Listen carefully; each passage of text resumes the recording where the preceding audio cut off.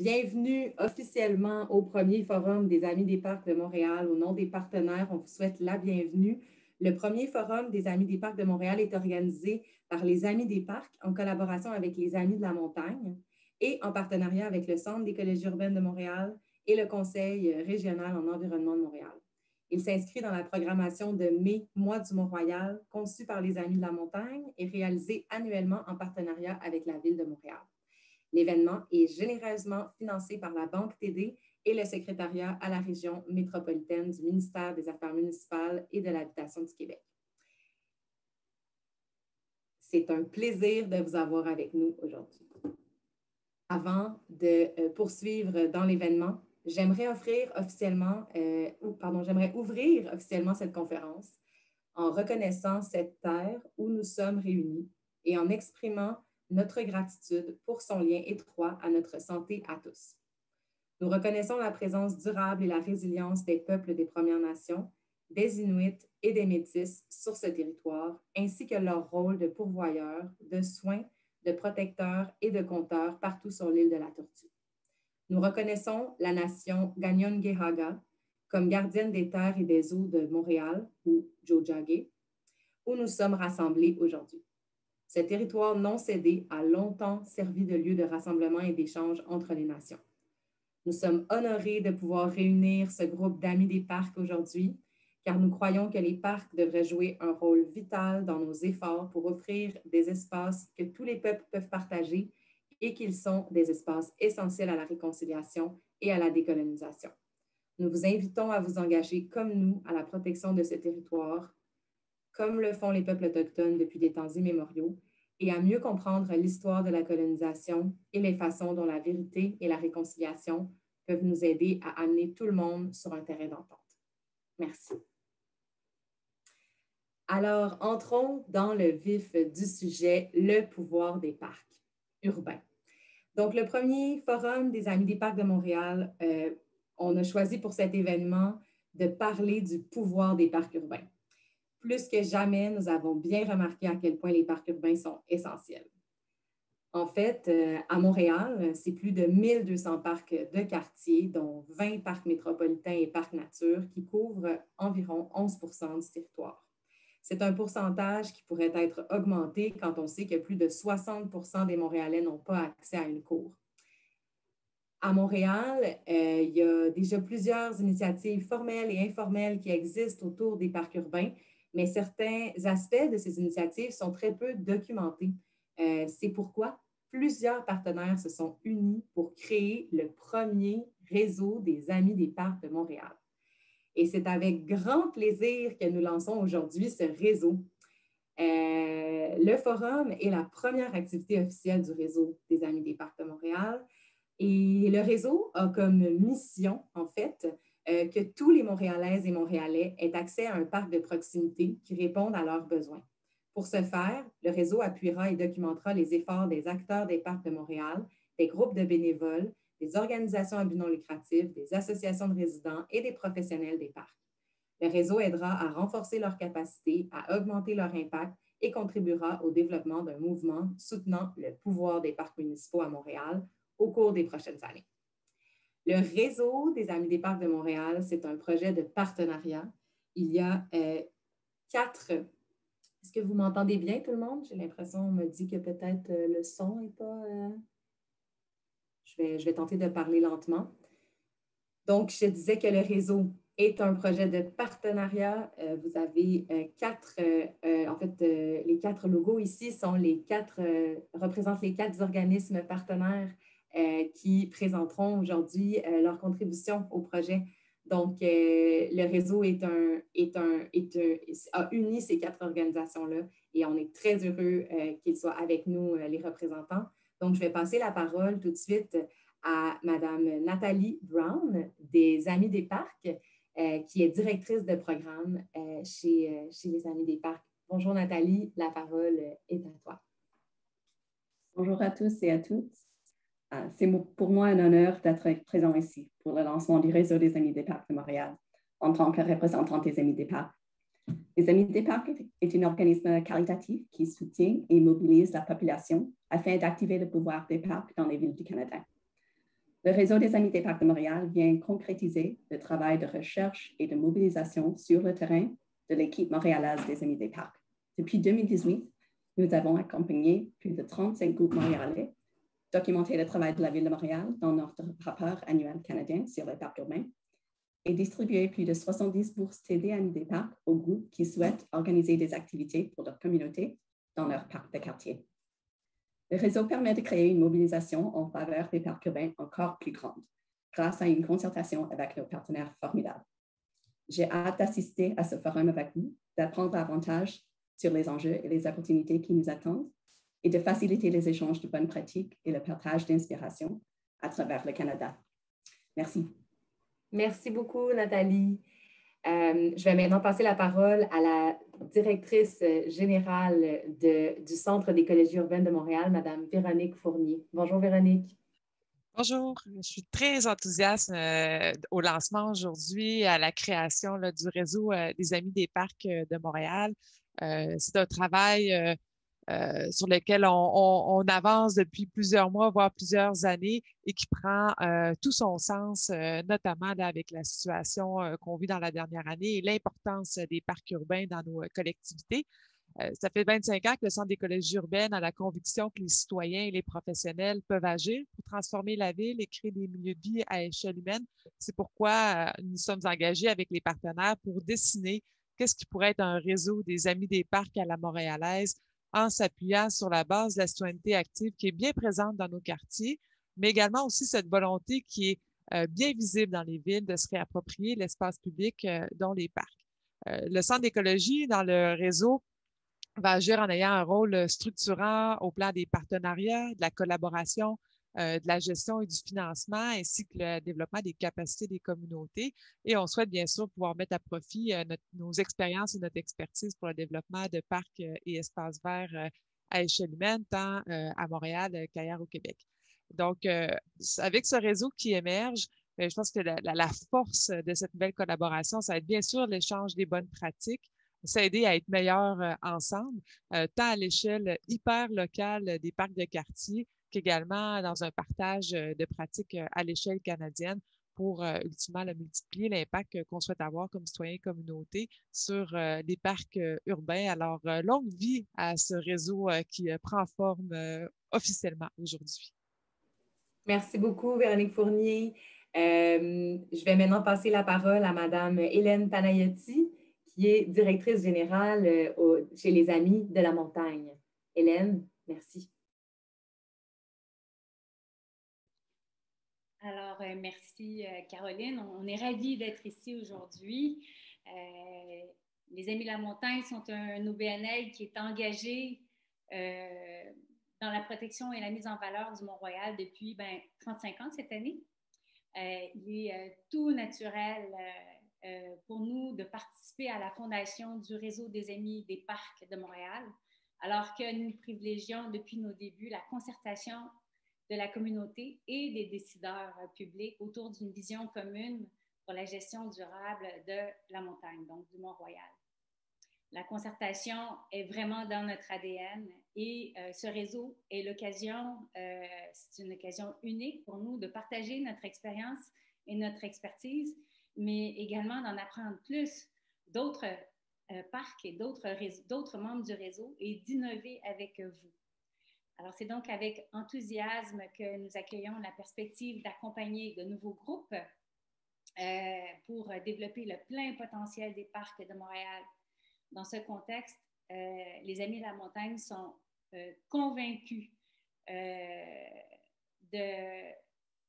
l'importance du modèle ville et OBNL Amis des parcs pour réaliser le plein potentiel des parcs. Et les premiers qui sont avantagés sont les citoyens, donc euh, des familles, des amis, euh, des solistes qui gravitent vers des espaces publics verdoyants qui leur font tant de bien. D'ailleurs, on a très, très hâte d'entendre de parler M. Adrien Bénépé et également Mme Boucher à ce sujet. Donc, au nom de tous les amis de la montagne, euh, je vous souhaite un premier forum des amis euh, des parcs de Montréal riche en apprentissage et en réseautage. Merci. Merci beaucoup, Hélène Panayotti. Et maintenant, je vais passer la parole à M. Emmanuel Rondia, directeur général du Conseil régional de l'environnement de Montréal. Emmanuel, merci. Merci Caroline. Bonjour à toutes et tous. C'est en, effet une, très belle journée euh, pour les parcs montréalais pour tous les, usagers euh, et les utilisateurs de ces, de ces espaces euh, qui font la fierté de la ville. Euh, on est très heureux, euh, le Conseil régional de l'environnement, d'être euh, partenaire de cette belle aventure avec, avec les autres organisations. On voit tout l'intérêt que suscitent les parcs en simplement en regardant la, participation à cet événement aujourd'hui, déjà plus de 120 personnes pour cette conférence. C'est sur le, Conseil régional de l'environnement, on est un, un, organisme de bienfaisance qui agit comme instance de concertation d'environnement sur l'île de Montréal.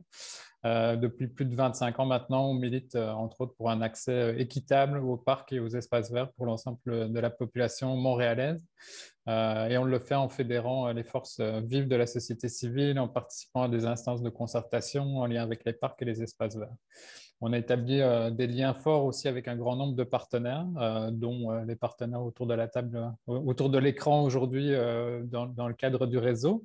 et à plus large échelle aussi, on est impliqué entre autres dans le mouvement Ceinture verte qui vise la création d'une grande ceinture verte à l'échelle de la région du Grand Montréal. Donc, une diversité d'interventions à différentes échelles aussi, je pense c'est une des, une des clés du succès. c'est sûr, comme organisme de concertation, on est convaincu de la force du réseau aussi. Euh, ça permet de ne pas se sentir seul, d'avoir accès à des expertises, des ressources. Puis c'est vraiment euh, un des éléments clés en fait, du réseau des Amis des Parcs, je pense, qui va venir répondre à un besoin, euh, un besoin de la société, un besoin des groupes citoyens, un besoin, un besoin aussi des administrations de travailler ensemble pour mettre en valeur et, profiter au, maximum de nos espaces verts. Parce qu'on l'a vu, c'est sûr, dans le cadre de la pandémie, le, besoin d'accès de nature de proximité est vraiment criant. Euh, qui plus est dans une perspective d'adaptation au changement climatique aussi, où on sait tous les bienfaits en euh, autant euh, les parcs, les espaces verts et le contact à la nature sur notre santé physique et psychique. concrétiser l'objectif d'avoir des parcs accessibles partout et pour tous, c'est un, beau défi. Euh, ça va passer par une diversité d'actions euh, qui, vont aller de la création de nouveaux parcs, la protection d'espaces verts, la mise en valeur des parcs existants aussi et l'amélioration de, leur accessibilité. Puis c'est un chantier, je pense, qui va se faire avec euh, l'ensemble de la collectivité. Puis c'est dans cette perspective que le CRUB est très heureux de mettre à profit à la fois son expertise de concertation, sa connaissance du territoire, son réseau diversifié de partenaires, sa capacité de diffusion aussi, pour favoriser le déploiement du réseau des Amis des Parcs de Montréal. Puis je vais euh, reprendre la formule de Véronique, mais euh, longue vie aux Amis des Parcs. Oui, merci beaucoup euh, Emmanuel Rondia et merci à, tous les, représentants de nos quatre organismes partenaires. C'est vraiment motivant de vous entendre. Merci. On va maintenant passer à un mot de la mairesse de Montréal qui, grâce à la magie de l'Internet, sera avec nous. Donc, je vais arrêter mon partage d'écran afin de vous repartager un vidéo inédit de la mairesse. Bonjour à toutes et à tous. C'est avec un grand plaisir que je me joins à vous pour l'ouverture du tout premier Forum des Amis des Parcs de Montréal. Cet événement marque la création du réseau des Amis des Parcs de Montréal, une création qui va non seulement favoriser l'appropriation de nos parcs locaux, mais aussi leur protection et leur mise en valeur. Les espaces verts font partie de l'ADN de Montréal. Nous avons pu constater durant la dernière année à quel point les parcs urbains contribuent à la qualité de vie de la population. Nos espaces verts et nos parcs dans tous les quartiers de la ville sont essentiels à notre bonheur individuel et collectif. Nous devons donc les protéger et les multiplier. Et pour ça, il faut mettre la biodiversité et les espaces verts au centre de nos décisions. Il faut enraciner la nature en ville. C'est précisément ce que notre administration fait. Nous venons d'ailleurs de lancer il y a quelques jours le plan Nature et Sport ce plan ambitieux et innovant encourage les communautés à adopter un style de vie sain et actif. Les espaces verts se retrouvent au cœur de notre quotidien. Ils offrent aux Montréalaises et aux Montréalais des espaces de proximité pour se divertir, se rencontrer, se dépenser et s'évader. Ce sont des lieux vivants et attractifs qui contribuent à la santé sociale, physique et mentale de la population. L'accès à des parcs de qualité doit demeurer équitable sur l'ensemble du territoire de l'île. C'est une priorité pour notre administration et nous y travaillons activement tout en protégeant la biodiversité et la qualité de notre environnement. Nos objectifs sont ambitieux, c'est pourquoi je me réjouis d'assister aujourd'hui à la naissance et au lancement du réseau des Amis des Parcs qui pourra les soutenir. Cette alliance pourra faire une véritable différence dans la communauté au cours des prochaines années. Je vous dis donc bravo et bon forum. Donc voilà le mot de la mairesse, euh, plusieurs euh, mots euh, d'honneur et je vais repartager mon écran ici. Je pense, voilà. Pour maintenant passer au contenu principal de notre, de notre activité d'aujourd'hui, soit notre conférence d'honneur, comment activer le pouvoir des parcs urbains. Donc, nos deux invités aujourd'hui, on a un programme double, mettront en évidence les multiples valeurs des parcs et euh, l'importance de leur gouvernance en partenariat et les besoins des populations qui les utilisent au quotidien. Ces deux conférenciers passionnés mettront en valeur l'étendue des bénéfices que les parcs urbains offrent aux communautés et aux villes. Donc, M. Benepi parlera pendant 40 minutes, il sera sous peu présenté, et Mme Nathalie Boucher parlera pendant 15 minutes. Il y aura ensuite une période de questions qui suivra la présentation de Mme Nathalie Boucher et qui concernera les deux présentations. Donc, vous pouvez, pendant les présentations, commencer à écrire vos questions dans l'outil QR ou Q&A. Et dans cet outil, on vous, invite à écrire vos questions et à préciser à qui vous posez la question, si c'est à un conférencier en particulier. Donc, ne pas utiliser la fenêtre de clavardage pour les questions. Vous pouvez les écrire directement dans l'outil des questions.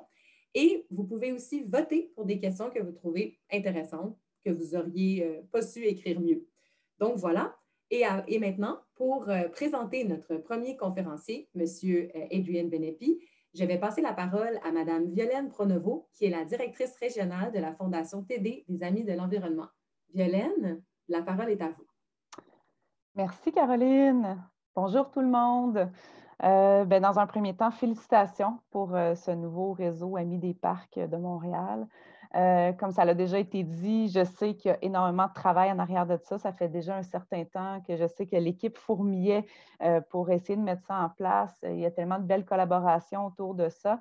Puis clairement, ben, c'est gage de plein de beaux projets à venir. Donc, longue vie au réseau des parcs. Donc, euh, pour moi, bien sûr, c'est un plaisir d'être ici aujourd'hui pour faire le pont vers la conférence d'honneur qui a pour titre Comment activer le pouvoir des parcs urbains. Car oui, les parcs ont un pouvoir immense, comme vous le savez sûrement, et que vous allez l'apprendre davantage euh, dans les prochaines minutes, puisqu'ils sont plus qu'essentiels à la santé et la résilience de nos collectivités. C'est pourquoi la Banque TD s'est engagée à soutenir le déploiement, l'amélioration et l'animation de parcs urbains partout à travers le pays. Ça se traduit notamment par notre engagement auprès de l'organisme Park People, Amis des parcs, depuis maintenant dix ans. Plus près de nous, la TD contribue depuis le début, en 2018, à l'émergence des activités de l'organisme au Québec. Que ce soit via les bourses TD Amis des parcs ou encore le financement qu'on octroie euh, via la Fondation TD des Amis de l'Environnement ou des dons corporatifs, nous aspirons à contribuer à dynamiser et à verdir les parcs, mais aussi à appuyer la collaboration et la participation citoyenne qui va assurer leur plein déploiement. Sans plus tarder, je vais vous présenter le conférencier invité d'aujourd'hui, que j'ai d'ailleurs eu la chance de rencontrer lors du Forum Amis des parcs de 2017 tenu à Calgary. Donc, Adrian Benipi est l'actuel président du Jardin botanique de Brooklyn. Il a été le vice-président senior et directeur des programmes nationaux pour The Trust for Public Lands, et ancien commissaire au service des parcs et loisirs de la ville de New York de 2002 à 2012. Pendant ce dernier mandat, il a supervisé une expansion majeure du réseau des parcs de la ville de New York en instaurant une culture de collaboration entre les groupes citoyens, la ville et le secteur privé. Il possède une perspective inspirante sur la valeur de cette collaboration pour une planification et une gestion d'un réseau des parcs adapté aux besoins de la communauté et aux responsabilités de l'administration municipale. La parole est à vous, Adrienne. Merci beaucoup, euh, Violaine. Est-ce que Adrienne... Oui, bonjour, Adrienne. Oui, bonjour. Euh, maintenant, il faut que je, je partage mon écran. Exactement. Vous pouvez m'entendre, on- vous? Oui, Voilà.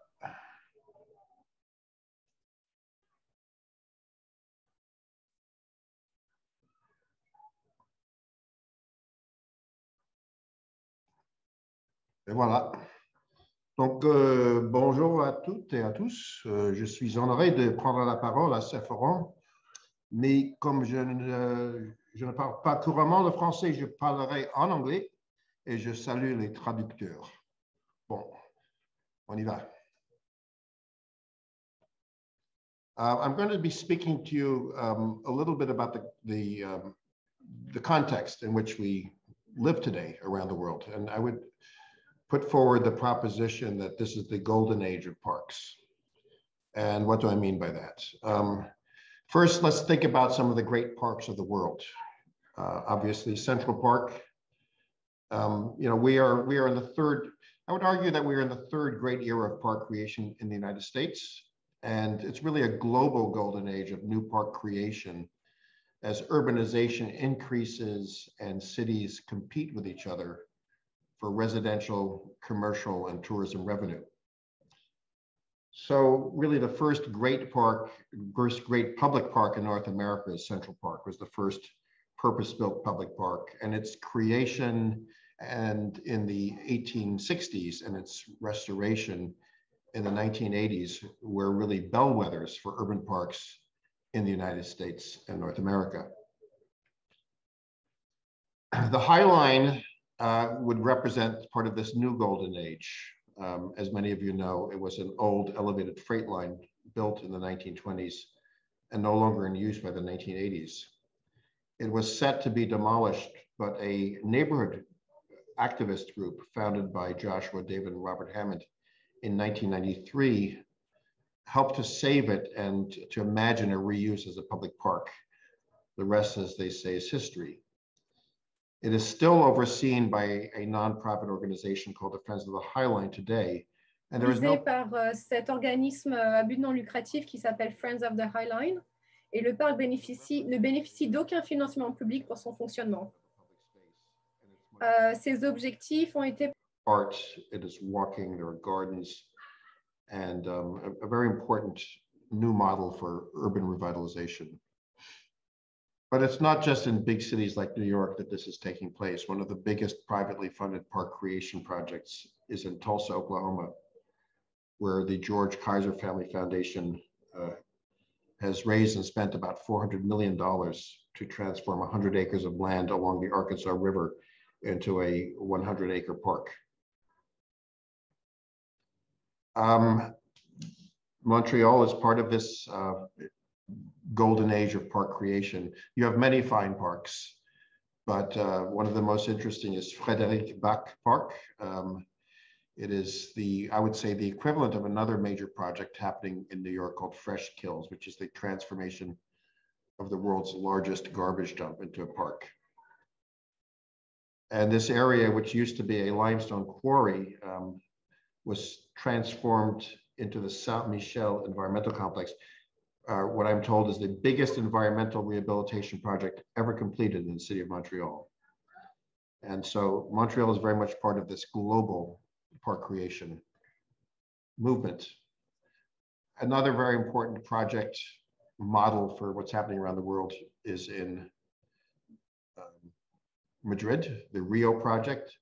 The Manzanares River is a green space where they literally buried the highways that used to divide the people from the river's edge and built parks over them. Over 1 billion euros were invested, and it took eight years of planning construction to create 820 hectares of new parkland in the center of Madrid. This is an enormous scale of work that we see also replicated in London at Olympic Park, a former industrial brownfield, now a large green space that hosted the Olympics in 2012 and um, remains a successful park, which is very unlike the history of former Olympics grounds. Um, so this is one of the other trends we see in most cities, you do not have empty space to build new parks in. So the rehabilitation of former industrial areas shipping areas, um, infrastructure no longer in use, outmoded infrastructure has been the new frontier for park creation in cities around the world. And nowhere is this park development paradigm more in use than in and at a larger scale than in China. In city after city, in scores of cities across uh, China, there are gigantic urban transformation projects going on. So for example, Tao, Taopu Central Park um, in Northwest Shanghai is a science and technology hub designed by James Corner Field Operations, one of the important landscape architecture firms. And it's not just a park because it um, bridges over a highway it has land bridges and tunnels to allow for road infrastructure while having continuous park, habitat and wildlife corridors. And it also functions as a way to process and manage stormwater runoff. So it functions as a very large green infrastructure system. So this is, this is another trend that we see mitigating the impacts of climate change and uh, using green infrastructure in the form of parks is another major aspect of park development uh, around the world. So let us speak for a while about the superpower, the superpowers of parks.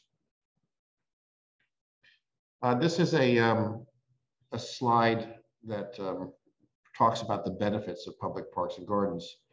The Trust for Public Land, which is a national nonprofit organization where I worked for eight years after serving as New York City Parks Commissioner, led a national advocacy campaign aimed at mayors and other local political leaders. And we set as a goal that every resident of a city or other urban area in the US should have a high quality park within a 10 minutes a half. d'une zone urbaine des États-Unis dispose d'un parc de qualité à moins de 10 minutes. Nous avons fait valoir que les parcs présentent de multiples avantages qui rendent les villes plus vivables et représentent un important retour sur investissement des fonds publics. Et vous pouvez voir tous ces avantages dans ce diagramme que nous avons appelé euh, Park Benefit Flower ou la fleur d'avantage des parcs ou des bienfaits des parcs. Si on arrive à, atteindre tous ces objectifs, euh, on fera un grand pas pour, euh, en matière de santé publique. Et quand on peut présenter ces arguments aux maires, euh, souvent, ils voient vraiment l'intérêt de, mettre en œuvre toutes ces activités. Euh, ensuite, je voudrais vous parler du fait que les parcs euh, permettent de solidifier les collectivités. On ne peut pas avoir des parcs sans avoir des collectivités solides. L'un des arguments les plus convaincants que les parcs contribuent à créer des villes plus fortes, et que pour créer de grands parcs, nous avons besoin de la forte participation du public. Donc, euh, toutes ces images proviennent des projets de développement de parcs de Trust for Public Land, euh, lancés dans des villes des États-Unis. En haut à gauche, vous avez des élèves d'écoles publiques dans le Bronx qui travaillent à la conception de leur parc. En haut à droite, des élèves de Newark qui montrent fièrement leur projet euh, pour le parc Mildred Helms. En bas à gauche, le jardin communautaire de Denver et en bas à droite, euh, le Santa Fe Railway Park et Plaza Santa Fe. Euh, sur cette diapositive, je voudrais parler des parcs et de la santé publique. Et l'argument que l'on présente souvent, c'est qu'on ne peut pas euh, atteindre des hauts niveaux de santé publique sans avoir des parcs ça. Et il est important de démontrer euh, les bienfaits, les vertus euh, des parcs sur la santé publique. Euh, les parcs permettent de favoriser la santé environnementale. ça permet de, réduire les îlots de chaleur. Et ça a des vertus aussi pour la santé physique et psychique.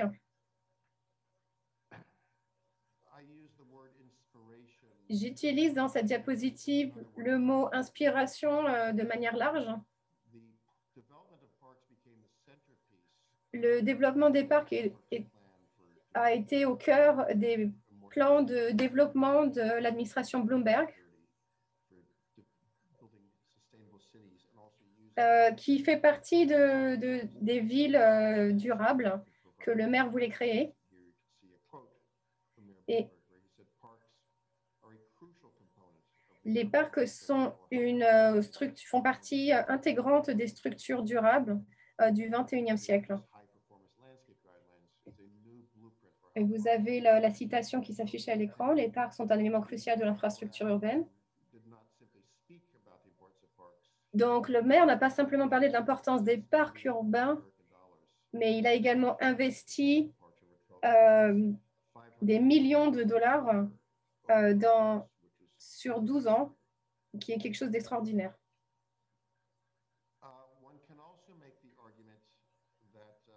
Ensuite, euh, nous pouvons dire que les parcs font partie intégrante de l'économie locale. Ils jouent un rôle crucial. Si l'on crée un réseau de parcs euh, sains. Et on obtient un retour sur investissement euh, très intéressant, j'essaye de ne pas lire les mots sur l'écran, mais parce que je pense que vous pouvez tous les lire. Je voudrais euh, remercier les traducteurs qui ont traduit ces diapositives.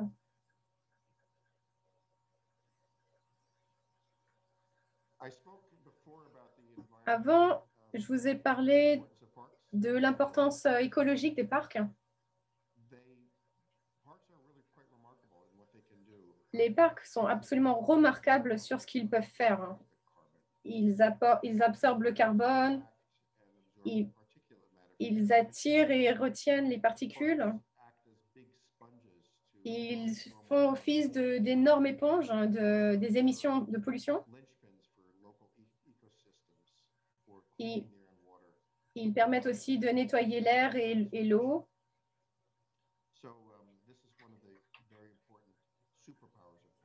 Donc, ce- ceci constitue les super pouvoirs des parcs euh, et des environnements euh, du milieu naturel euh, en ville.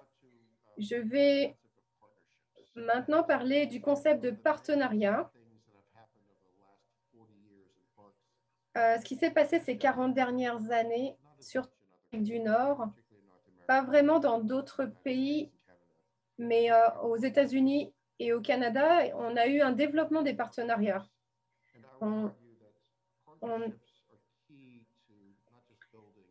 Les partenariats sont absolument essentiels, non seulement pour créer des parcs, mais aussi pour euh, maintenir leur pérennité et s'assurer qu'ils ne, qu'on ne s'engage pas dans, le, dans un déclin.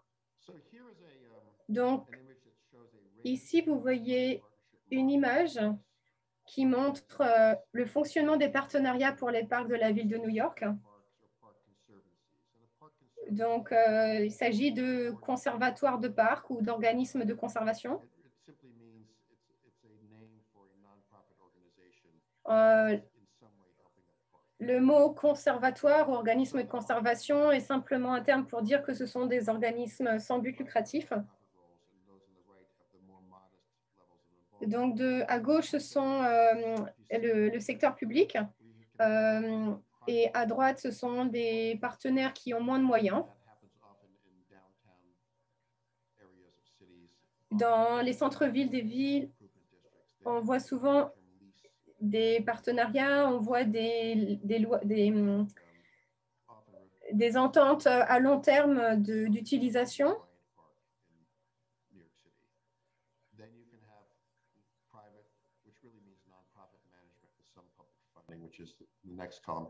Donc, la, prochaine, la, colonne, la deuxième colonne à gauche, ce sont la, gestion privée avec euh, des fonds publics. J'en parlerai un peu plus tard. Ensuite, nous avons des opérations hybrides euh, conjointes.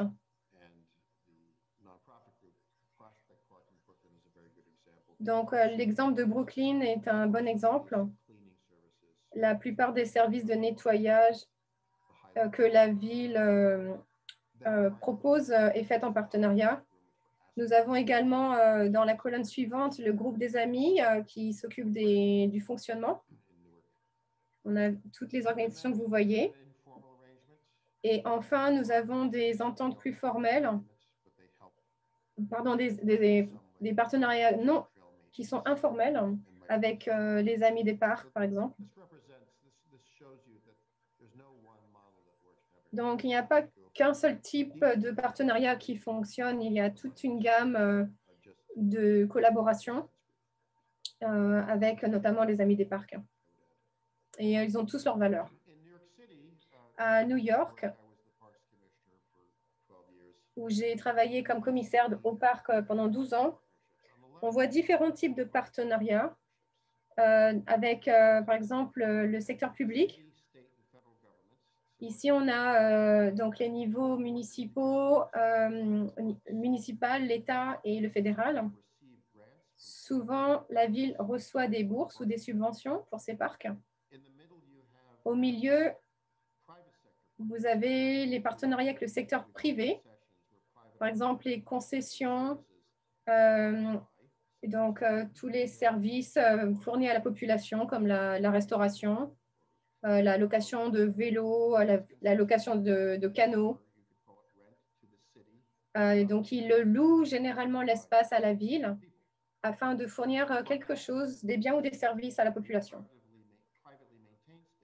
Ensuite, nous avons euh, les partenariats euh, avec le secteur des organisations non, euh, à but non lucratif. Ça peut être des organismes, des associations pour le soccer ou le baseball. Les partenariats avec les entreprises permettent de fournir des services en échange de frais. Et ça permet, il y a aussi un retour pour les entreprises. Euh, c'est ce qui se passe aussi avec les conservatoires de parcs. Euh, ce sont des organismes qui travaillent de manière bénévole ou dans le cadre d'une entente. Parfois, ils reçoivent aussi euh, de l'argent de la ville pour fournir des services.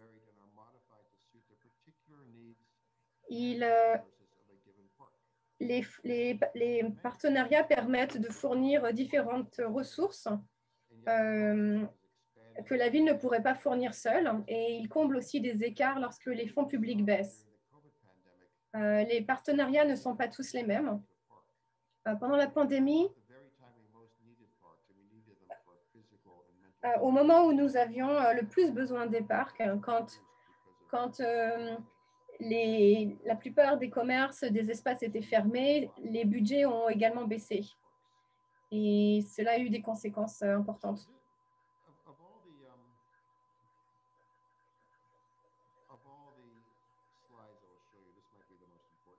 Parmi toutes les diapositives que je vais vous... Characteristics of the qualities of good conservancies. And um, first, upholding a public-private partnership, having some kind of a memorandum or, of understanding or contract, um, having public members on your boards, what we call ex officios, they could be a public official, and making sure that the park always remains public. So if you recognize a private donor, you don't privatize the space. It's important to have some kind of a master plan for both the operating and the restoration of the park. We need a strong board of directors to help with raising money, advocating, utilizing their connections. It's always helpful if it's skilled at fundraising, but fundraising is not the most important aspect. Um, and park maintenance and programming responsibilities can be part of the responsibilities of a conservancy. Also important is the balance of the city and conservancy relationship, making sure that you understand who has what responsibilities. It's vital that there be community involvement in outreach and public programming. Even if people can't give money, creating roles for volunteers is very important. Another rule I would say from having been involved with dozens of partnerships in New York City and around the country is that government represents the people and always has to have the final say. That's especially true on laws, rules, changes in land use, contracts, and major events. It's also true for security, that the private you should leave the security to the public, um, the policing, the enforcement of rules and laws to public authorities, not to private. The single most important thing a government can do for a nonprofit partner is provide legal indemnification. What we call hold harmless agreements or legal coverage by government is crucial to make sure that a small nonprofit doesn't lose all its money because a tree falls on someone and there's a lawsuit and um, the, the private group is forced to pay out. ou bien qu'elle offre. Legal responsibility must rest with the city. The final and most important fact is it's not the amount of money a partner group raises, it's the continued involvement of citizens in the life of the park over years and decades. So as elected officials come and go, you have a continuous presence of the representations of the neighborhood, of the people who live in the community, who will stay there even as uh, politicians come and go.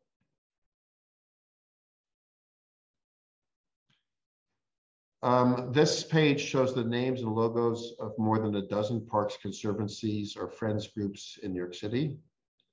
And together they raise and spend more than 220 million US dollars for parks in New York City. And to put that in context, that is on top of about $500 million in public funding for parks operations provided by the city of New York and another 300 et à 300 funds for construction. So it represents almost a 50% increase to the public budget with the private fundraising. And some of these are very big and some of them are very small, but they're all part of this ecosystem of partnerships. If we look at it nationally across the United States, as I mentioned, there are more than 15 park conservancies, and there are hundreds of small neighborhood organizations helping with parks. But there are 15 major conservancies in New York and well more than 100 across the United States. Revenue, budget, and scale varies from conservancy to conservancy. So based on uh, numbers from 2009 to 2012, there's a very good report which you can get from the Trust for Public Lands website. It's called Public Spaces, Private Money, the Triumphs and Pitfalls of Urban Park Conservancies. So in the most recent data, which is in also the Trust for Public Lands City Park Facts, private spending by conservancies and other, and other nonprofits was more than $600 million across the United States. But you can see here that New York, which is so big and has so many parks and so many groups, represents more than a third of that total nationally.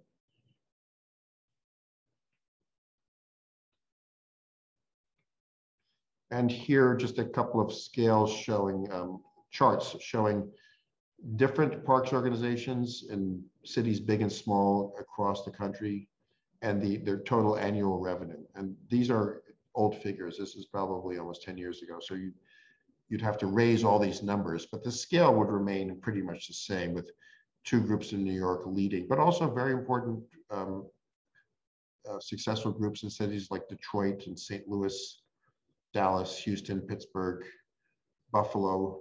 Uh, I would note that in Buffalo, two thirds of the park system is run by a, a small park conservancy, the Buffalo Olmsted Park Conservancy, and so on. And going down, you see that some of them are really quite quite small and don't have a lot of money, but they all play important roles in their various parks.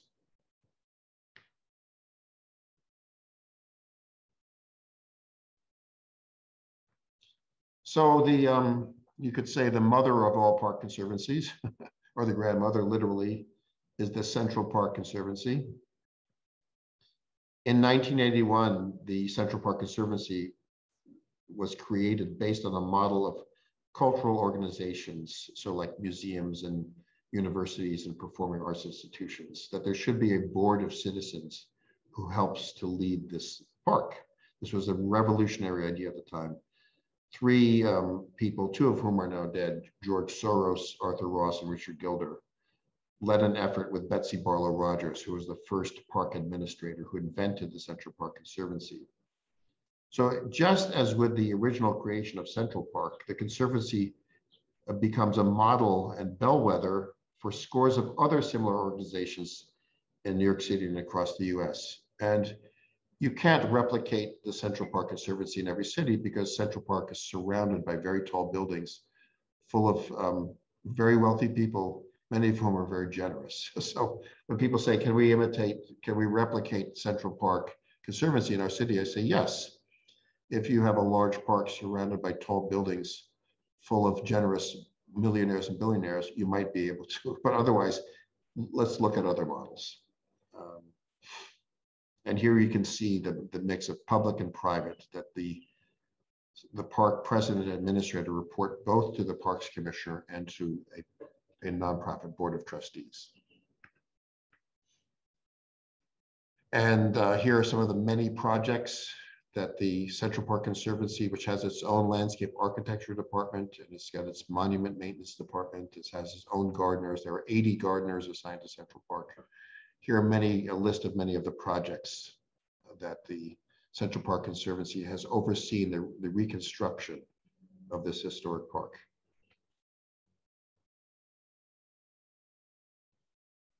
It also oversees the day-to-day -day operations. Here you can see it employs more than 300 people. They're privately employed. They're not city employees. Responsible for horticulture, tree and turf care, trash management, statuary conservation, public programming, and much more. They have a zone management system with the park is split into 49 zones. Each is managed by a supervisor and a team. So you have a gardener who knows exactly what's going on in each zone. And then lots and lots of work by volunteers.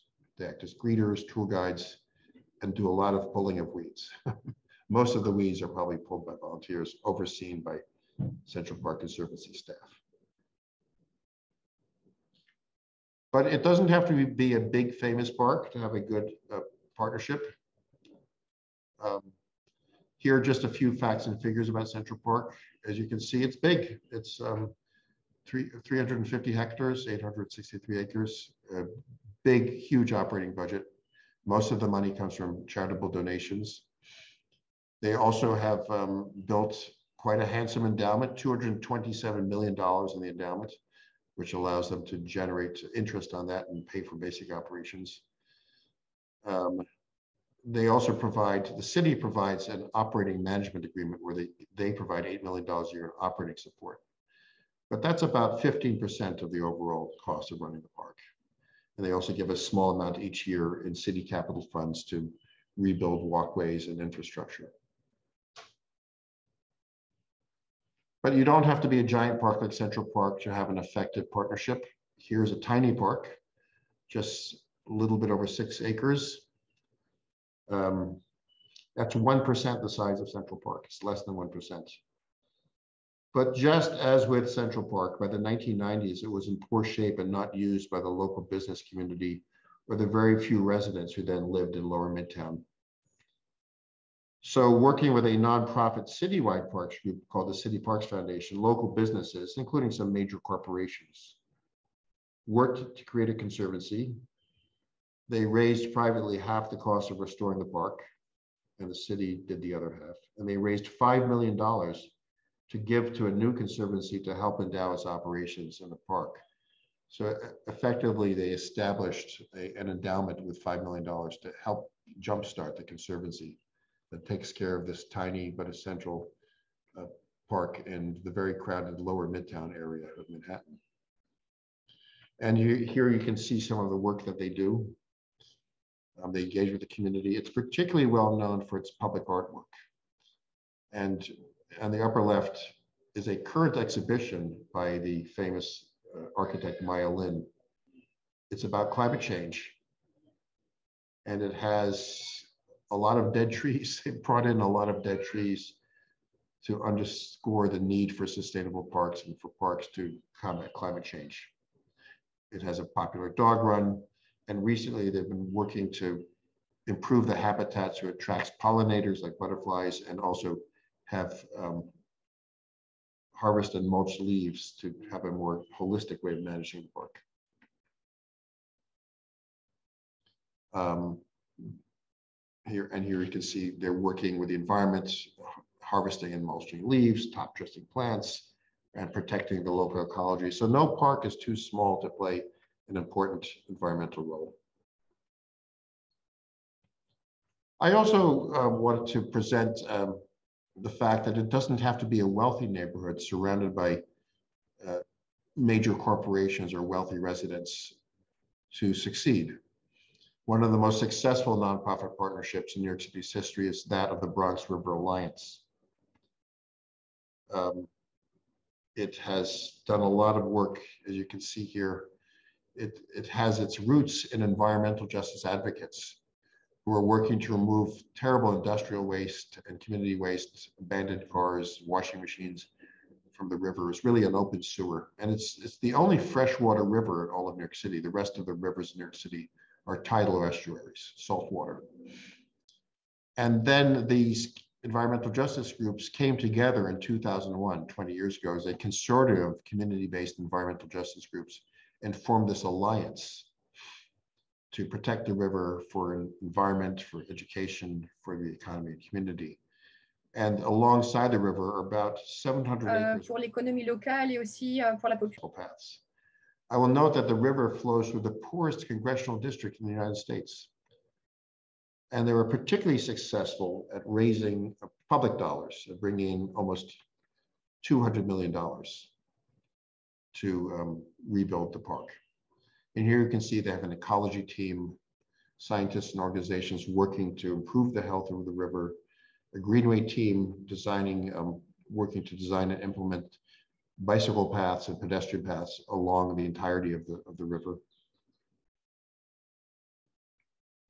Doing education, the river is used as a way to introduce children from the neighborhood to ecology.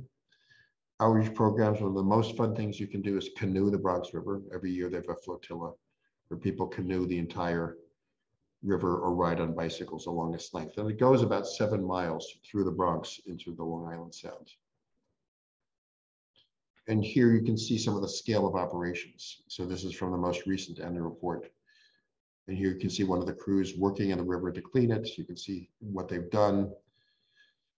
Um, it was a modest year, 1.2 million in public support for their work. Um, and the rest was privately funded. But I will tell you that they worked with local elected officials, including Councilmember Jose Serrano, to bring in about $200 million in public funding, federal, city, and state public funding, transportation funding. So the, the principal source of funding to revive this entire riverfront was from public money, but it was done through advocacy by this local community. Without their advocacy, none of this would have happened. So at the end of the day, conservancies and parks are really about people.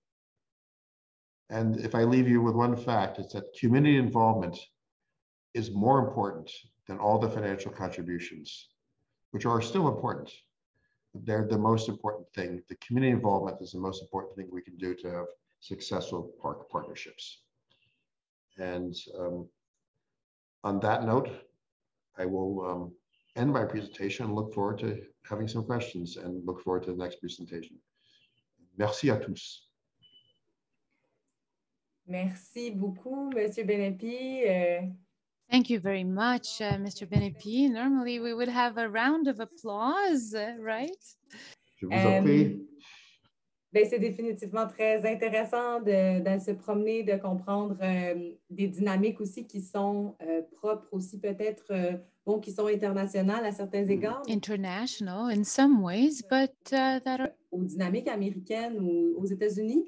Et puis, American or American environments. Our second presenter will uh, bring us back to Montreal. And uh, we will be noting the questions that uh, arose for Mr. Benepi, and we are going to get back to them à l'instant. Donc, euh, juste un instant, voilà. Je partage mon écran. Donc, euh, Nathalie Boucher euh, se joint à nous aujourd'hui. Euh, c'est vraiment un plaisir de l'avoir euh, avec nous. Euh, elle est anthropologue, spécialiste des espaces publics urbains. Son parcours professionnel l'a amené à travailler à Landra, Pradesh, en Inde, à Mastoyash, à Nitasinan, en passant par Managa, au Nicaragua. Lors de l'observation des espaces publics et des échanges qui s'y déroulent, elle s'inspire de la géographie sociale, de l'anthropologie, de la communication et de la sociologie urbaine. Elle adore discuter méthodologie et réfléchir sur l'humain des villes et c'est pourquoi elle a enseigné ces matières, notamment à l'INRS, et publié sur ces sujets. Directrice et chercheur de l'organisme Respire, elle a un faible pour le parc Jean-Drapeau au centre du fleuve Saint-Laurent pour ses contrastes entre foule et solitude, passé et présent, ville et nature. C'est un plaisir de vous avoir avec nous, Nathalie. Donc, euh, la parole et euh, l'écran est à vous. Merci.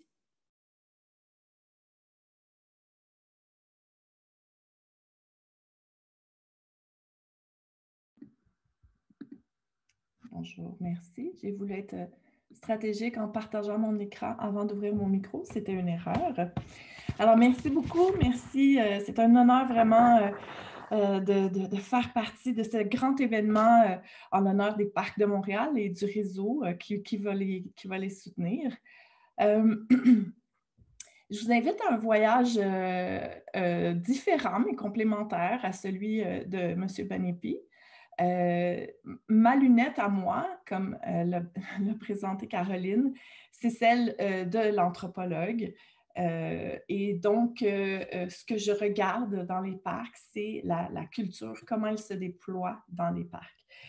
Et la culture, je, comprends que c'est tout le système de valeurs, les croyances et les mythes et les connaissances partagées entre shared that we have within a group. That is really my lens.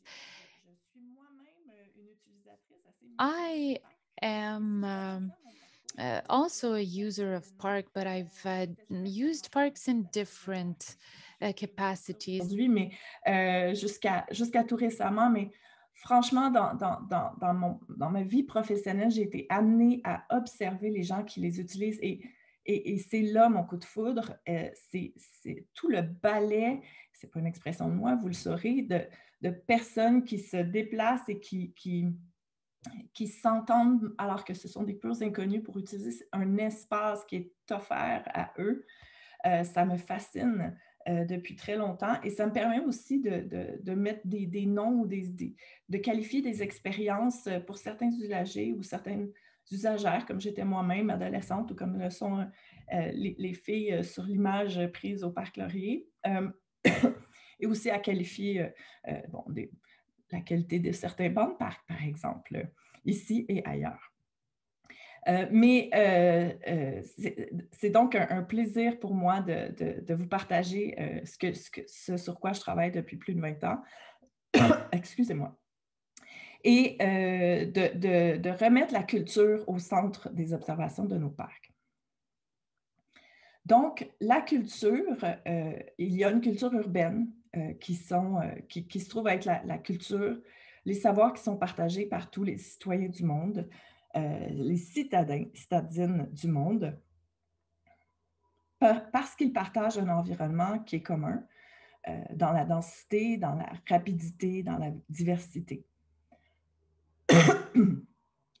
Certains savoirs sont communs à ceux et celles qui habitent une même ville parce que leur environnement est similaire et leur quotidien est partagé. Il y a aussi une culture qui existe, et c'est ce que je défends, dans des plus petits espaces encore.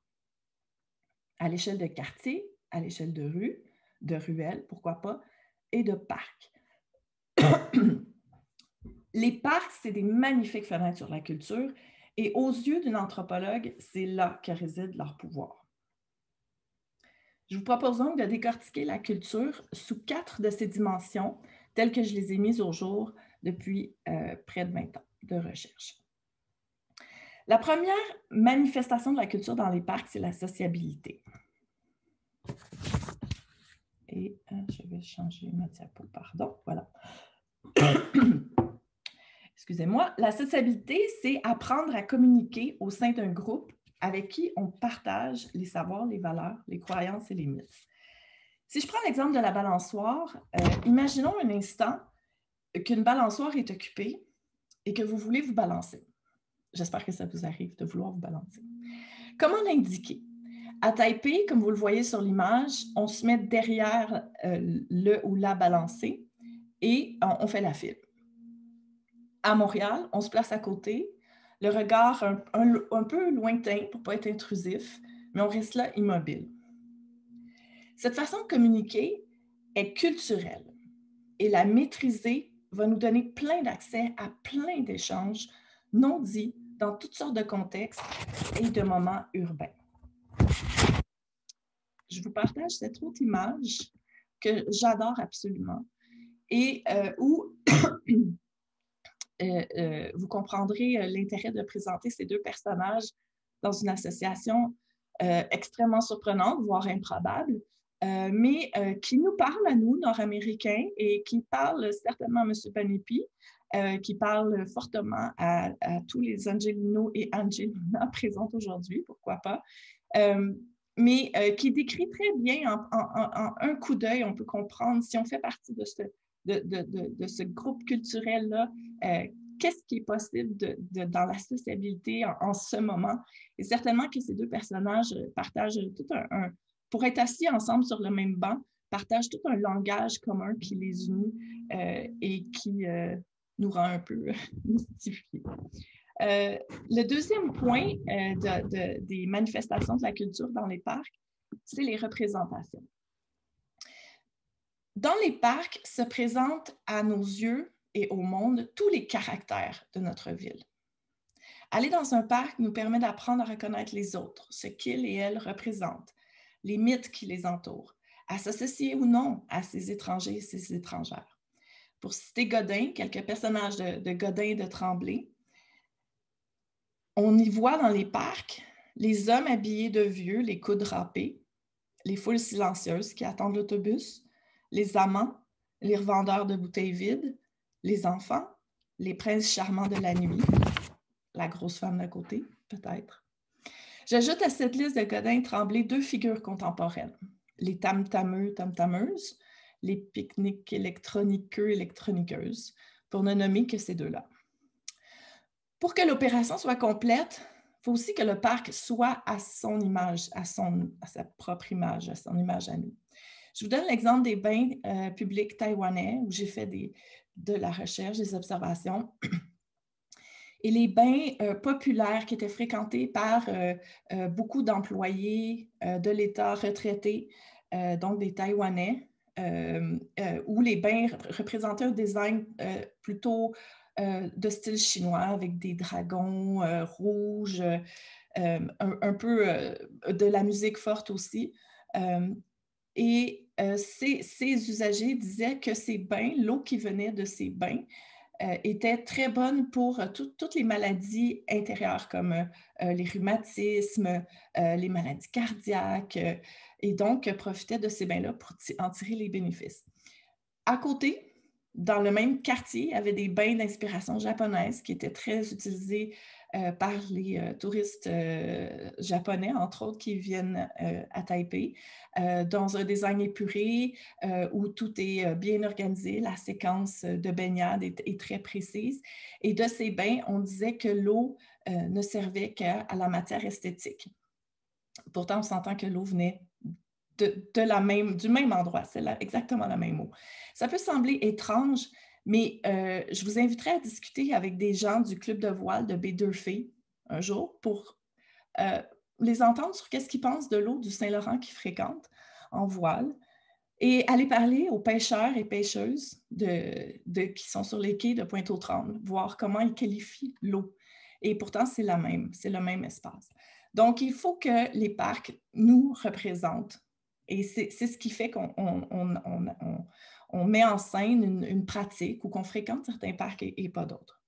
Et pas obligé de les fréquenter les parcs pour en avoir une idée de leur représentation. C'est l'extraordinaire pouvoir de notre montagne royale, du Highline et de Central Park, et c'est aussi ce qui a sonné le glas du Square Vigie.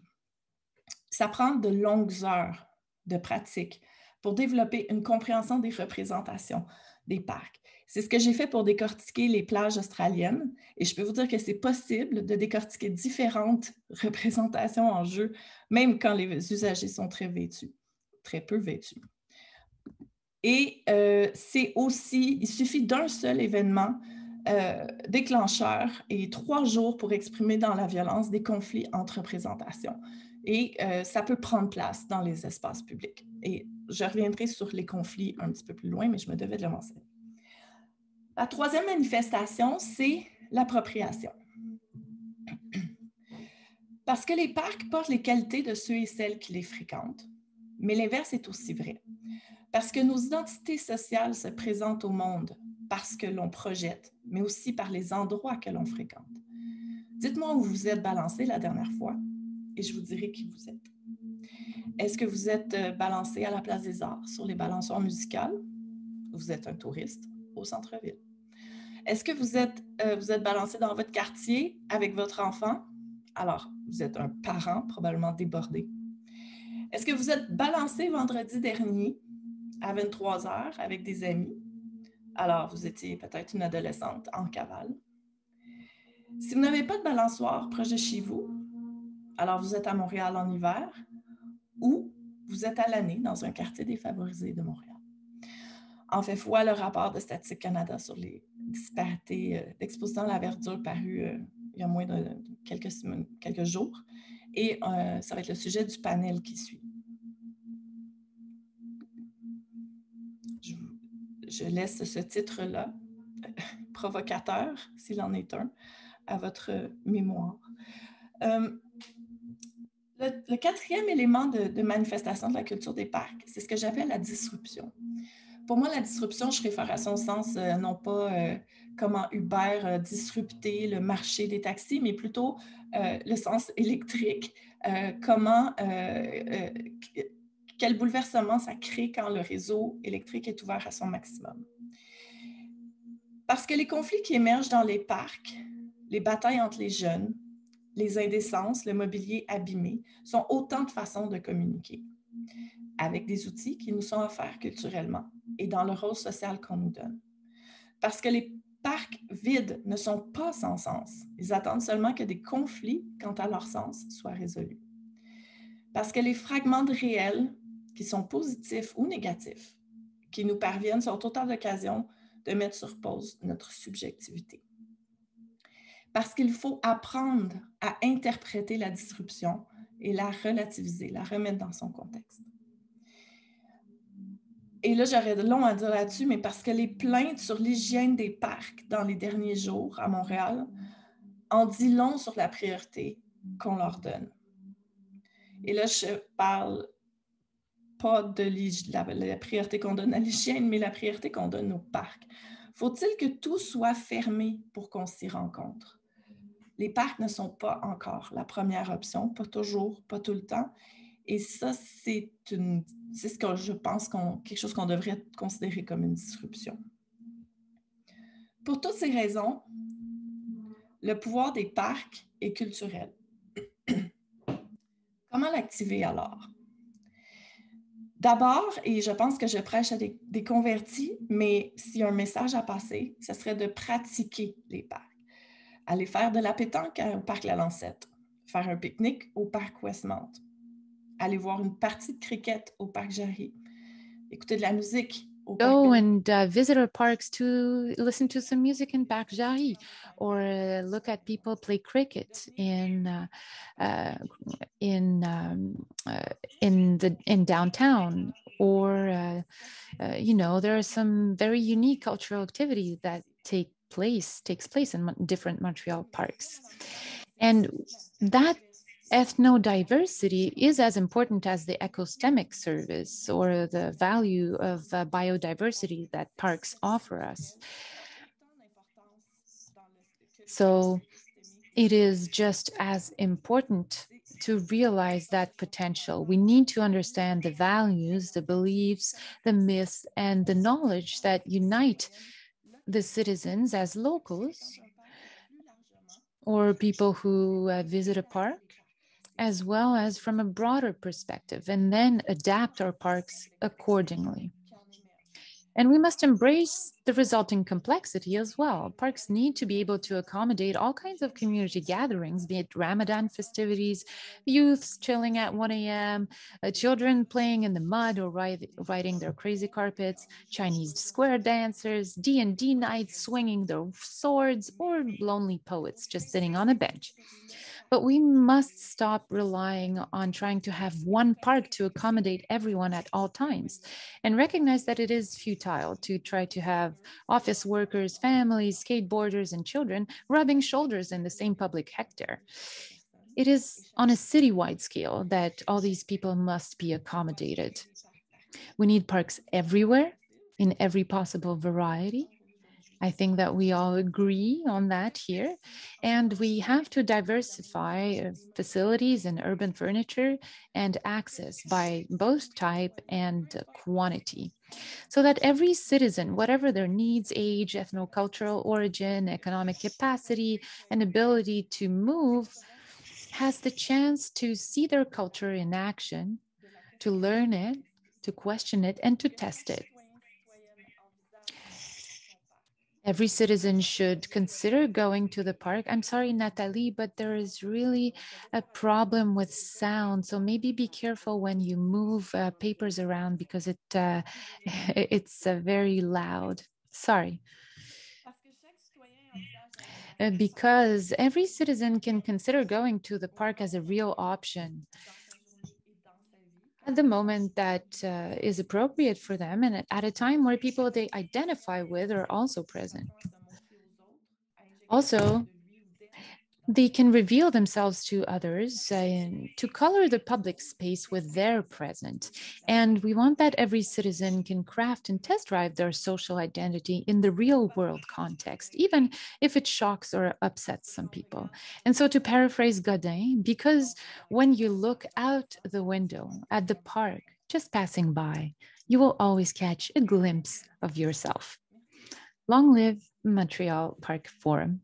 Thank you.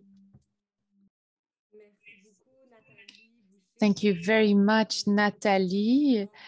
And uh, I will echo one of the participants. What a great presentation. Thank you very much to Mr. Benepe and Nathalie. Let's now maybe share my screen again. So we had two really interesting presentation. Thank you very much to both of our uh, of our presenters. We applaud you even from the comfort of our own couch. Unfortunately, we cannot be together. We started to receive some questions. So I would like to invite everybody who's participating to have a look at the questions and maybe to vote on ones that you would be interested to have answered. And uh, also please specify who you're asking the question for. So again, uh, sorry about uh, the little glitches uh, for the interpretation service. We've been working on it and uh, uh, we had uh, some channel difficulties for some reason. The French interpreter was on the English channel, but now it is all fixed. So we have 40 minutes for those who want to stay with us for a question period. Now I will stop the sharing of my screen to go back to our keynote speakers and uh, start taking questions. So Let's go back to battery um, gallery mode. Hello again, Adrian and Nathalie. All good? Okay, so let's take some questions. I will start by a question from for Adrian, and the question is in English. So here we go. Just let's make sure interpretation works. We have a first question for you. Um, so, and you can read also the questions in the Q&A section. So uh, how do you navigate a city's legal obligations, security, legal contracts, unions, electoral platforms, etc., and partners' need for autonomy in order to be able to accomplish concrete actions? That's a that's a very good question, and it cuts right to the core of how you work out partnerships. And I'm afraid there isn't one answer, but the overall answer is that each side, to achieve a win, each side needs to be able to give something up. So historically in cities, the mayor, the parks commissioner or parks director have all the power and they want to hold on to that power. And what I learned over 40 years in working in partnership with groups in New York City was that I could gain by giving up some power. So you look at the balance of things that need to be done and say, what can I give up or what would I happily give up and give over to a private group? So for example, early on in the Central Park Conservancy, the city had no gardeners. We had almost no gardeners for thousands of acres of parks. So the Central Park Conservancy said, we'd like to hire some what they called horticultural interns. They weren't official gardeners, they're young people who could do horticulture. That avoided the whole issue of replacing union workers. So, so you have to look at what are the what are the union rules and make sure that you understand that beforehand. Another example would be the city wasn't maintaining its monuments. So this they said, we'll hire some conservation interns to take care of the statues and monuments in the park. um, but euh, I, en conservation historique.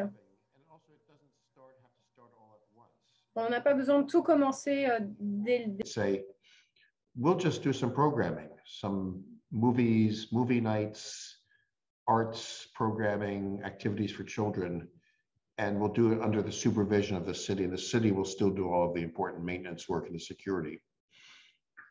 And then you start there, and then you gradually build up and say, well, we could also hire some gardeners who could do some of the higher, some of the more intensive gardening work that this park needs or something like that. So you can gradually build.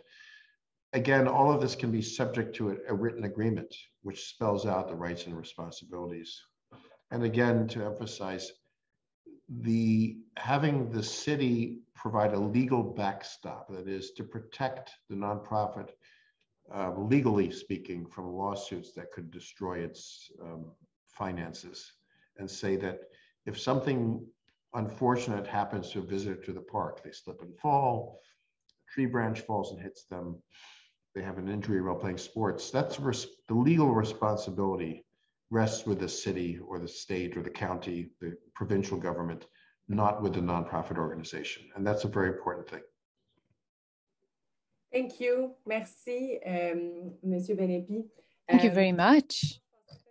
Now, uh, let's ask a question to Nathalie Boucher. On this question uh, that uh, Claudia Leduc has asked, would you be able to recommend uh, some writings or something to read for a group of citizens who are in conflict with uh, trying to cohabit with uh, uh, with homeless people and uh, who are uh, who are in conflict on the subject of graffiti. Well, I would have to think about that. If you're talking about a written work, uh, just contact me and I will make sure that I will refer you to something that speaks directly to this issue. What I would, uh, in general, suggest and this is very simple, is uh, really to try to have a dialogue with the representatives of the two mm, groups. So, of course, uh, homeless people are stigmatized and their representation uh, holds a very heavy connotation. So, it's really when we understand all of their codes and the language that they use, when we familiarize ourselves with their culture, this is when you can really um, deconstruct the negative connotations that the other group could feel. The same goes for the people who live in the area and who call the police or try to ostracize these people, that could also hold a very negative connotation. So maybe uh, one could organize some uh, uh, meetings, um, structured confrontations so that people could talk about uh, what the are concerned about, what are their values, so that uh, everybody could get to know the other side and uh, start a conversation that could lead in a consensus. Maybe that could lead uh, to citizens actually participating in a collective art project with uh, uh, with these people. Vera, Thank you very much uh, for this comment. Ms. Boucher, you also talked about the death of uh, the Viger Square in Montreal. Could you talk a little more about this topic? What do you mean by that? Well, is it uh, the link that you were making is the negative connotation? Yes. I I know that uh, there is an important population of homeless people who uses the square. Do you see a link there? Do you want to talk about that?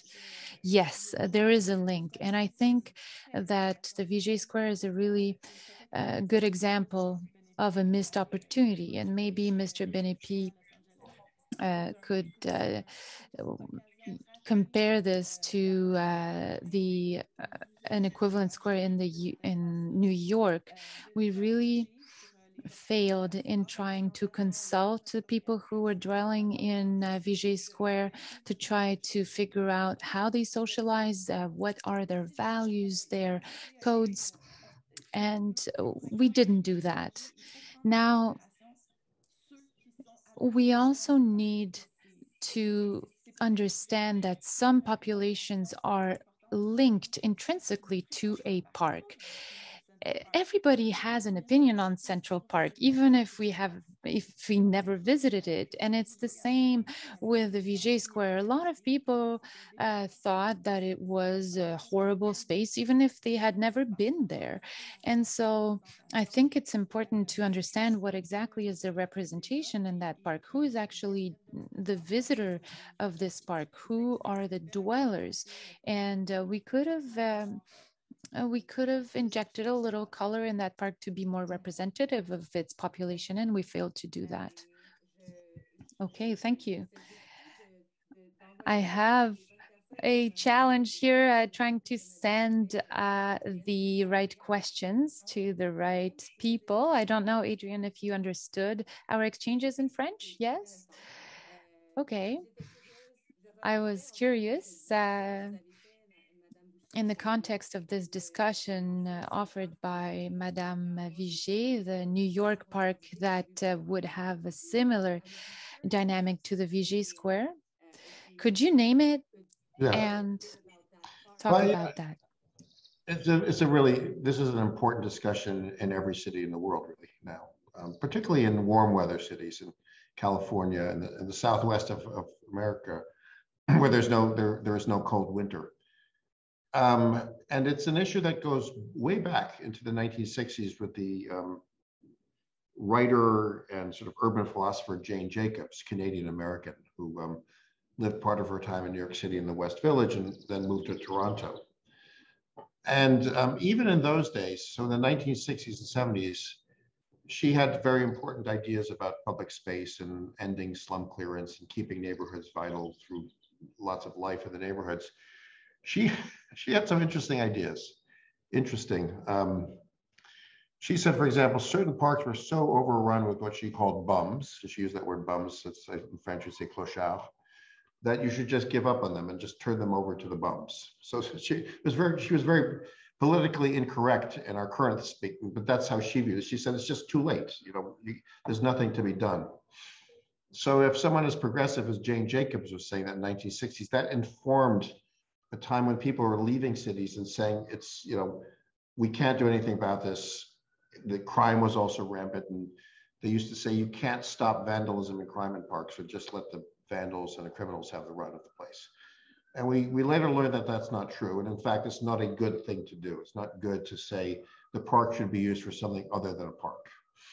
And in the same way that we fight people putting in a factory or putting in a highway or something else inappropriate a park is also not a living space unless unless it's a camping space. It's not equipped. It doesn't have toilets to stay open all night. It's not safe at night. And in fact, um, it's dangerous for people to live in parks for their own safety. They can be assaulted and robbed, and they can be sexually assaulted. So there should be shelters, proper living spaces for homeless people. And a park is not a proper living space. And that that's been the view in New York City and many other cities, which is Homeless people have every right to be in a park during daytime hours, but it's not a place to live in. It can't be a public toilet. It can't be a bedroom. And I, I think to, it's a sad reality that you can't have a clean, safe public space and also have it a place where people live 24 hours a day because it has to be closed and be cleaned and things like that. So that's that may not be a popular view politically speaking, but it's a reality in terms of how you run parks, and that it's the city's obligation to provide proper, safe shelters and housing for homeless people, and not uh, burden the parks with being the shelters, because that's not appropriate. That's also not appropriate. They're not safe, they're not clean, and they're not organized to be living spaces. Hmm. Thank you. Um, la question n'était pas directement vers vous. So the question, uh, uh, yes, that was uh, not, uh, it was asked to Nathalie, but I really wanted to have your opinion. Now we have a few questions that uh, uh, that talk about the the accountability of citizens. So I would like to hear both of you on that topic. So I will uh, I will speak slowly. Can you understand me, Mr. Benepe? Is it okay if I ask well, uh, I'll also say that I'm listening to your excellent translators. Oh, uh, great. Thank you. okay. Thank you, Marina and Jennifer. All right. So we have a question from uh, partly from Claudia Leduc, uh, but also partly from uh, uh someone else, uh, Alexandre Baudouin's question. So, how can we can we count on a uh, an accountability initiatives to really make people responsible for the cleanliness of park? For example through the leave no praise, trace program. Is it really a pipe dream for the urban context or should we always organize these uh, uh, these collective engagements of uh, citizens to do cleanups well, I can go ahead. I um, I would say, why don't we ask them? Why don't we ask the citizens what we could do to make people more accountable? So I think the answer would end up being quite simple. Maybe there is just a garbage can missing in a particular spot, or maybe there are other answers that I don't have, but that the citizens could tell me. And uh, maybe it would be worth asking them, uh, specifically asking those who use the space regularly, who observe what's happening on a regular basis. And these are probably also the ones who end up picking up some garbage and who are complaining about uh, a lack of cleanliness. I think that citizens all have an opinion just by uh, the fact that they use this park and uh, each park has a different situation. I think that it would be worth uh, asking them that. Thank you. Adrian? Yeah, um, I think it's important to involve neighbors and residents in occasional cleanups. It could be a special spring cleanup. You've, you've had a long winter, the snow has melted and the stuff is left under the snow, the garbage and so on. Or you're getting ready for this for, for the fall season, you want to clean up but I, I, do believe very strongly, as a former city official, that the ultimate responsibility for the safety and basic cleanliness of public spaces rests with the city. That that's why we pay our taxes, and we shouldn't burden citizens, all of whom are busy and have their own jobs in their lives, with having to do basic cleaning up of garbage or cleaning of public toilets. That's a civic responsibility. It's a very basic city civic responsibility. You can't have a successful city unless you remove the garbage, provide clean drinking water. And I would argue that public toilets are essential services. I, I made it very much my business as Parks Commissioner to say, yes, it's hard to keep public toilets open. And yes, they get vandalized. And yes, it's hard to keep soap and toilet paper. But we had very special inspection programs to make sure there was soap, there was toilet paper, it was clean and not disgusting, and it was open. Right? That's the most important thing. These are basic human needs to have a, a clean operating public toilet. And everything else, you can't have to go into a restaurant to ask, may I please use your bathroom? When you're with, there with your four-year-old child, you can't say, oh, I'll go home, walk 20 minutes to home to get to the bathroom. So there's some basic things which the city must provide, unless it's completely bankrupt, you know, you know, that's what our tax dollars pay for. Now, your volunteers should do the planting, maybe maybe come in and do some repainting, paint a mural, organize children's programs. But we, it's, it gets very depressing very quickly for volunteers if all they have to do every day is pick up garbage. And I think that that's why we pay civil servants to do that job. And yes, do some volunteer efforts from time to time, but not on a daily basis. Hmm. Mais peut-être que là, le défi. Well, maybe in that case, the challenge could be that in some projects, some citizen projects, uh, I, I'm looking here at Rita's question. How do we maintain the implication of citizens uh, on a volunteer basis? Sometimes um, and I would like to read here the question, uh, Rita's question. How do we maintain the implication of uh, the people who are gradually becoming excluded, specifically in the, the case of this question, when uh, some zones uh, gentrify? After uh, the uh, introduction of new infrastructure such as High Line or in Montreal, uh, we have other examples. So how do we stay involved as a community of citizens? So um, the, the High Line question is a good one. And interestingly, there was not a lot of gentrification as we commonly understand it because the neighborhood was mostly a manufacturing district. So there weren't a lot of people living there in the first place. All the old buildings surrounding the High Line were former factories and warehouses. You had some small residential populations. There's a large affordable housing community there, uh, a city public city housing project, which is still there what really gentrified was the, the businesses. So instead of having factories and lots of jobs, you had boutiques and um, you know, art galleries. So it was more of a commercial gentrification than a residential gentrification. However, it did change the neighborhood. And what the High Line found they had to do was that the people who lived in the public housing project, largely people of color, felt like this was not their space because it was primarily tourists and really largely speaking, um, European and Asian tourists said they don't look like us, and we we don't feel at home there, and the activities that we do don't take don't take place there. So that, it's a very valid concern that you can have an additional to physical gentrification, social gentrification. I think that's something that Nathalie knows a lot about. So you must proactively create programming that brings in other people.